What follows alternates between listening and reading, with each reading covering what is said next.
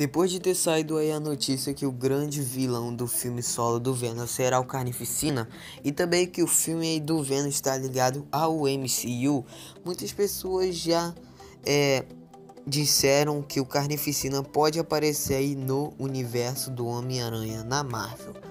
Bom, isso é bem interessante, pois o Carnificina aí é um dos vilões aí do Homem-Aranha que ainda não apareceu no cinema.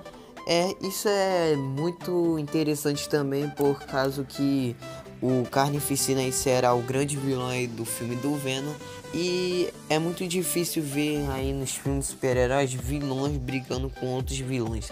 É uma coisa bem interessante aí e deve e acho que vai ser bastante legal.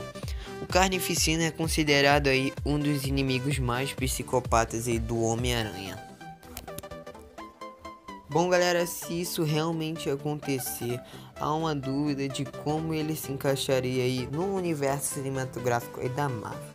Talvez em um terceiro ou quarto filme do Homem-Aranha aí de Tom Holland, mas fica na expectativa mesmo. Lista completa aí do elenco revela mais vilões e participações especiais. Revela que Donald Glover será o vilão Gatuno.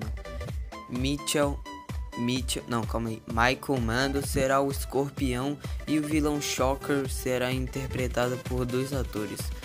Bulken Woodmed, que será a versão Herman Schultz, e Logan Marshall Green, que fará a versão aí Jack Jackson Breeze. Contando aí a lista completa aí do lado para você ver. E também tem uma curiosidade aí que nessa lista está Steve Rogers, que é o Capitão América. Provavelmente eu não sei se vai aparecer no filme, mas ele apareceu aí é, num trailer aí como o garoto propaganda aí de uma academia de ginásticas que apareceu aí no trailer. Não sei se vocês lembram, mas acho que vocês lembram aí.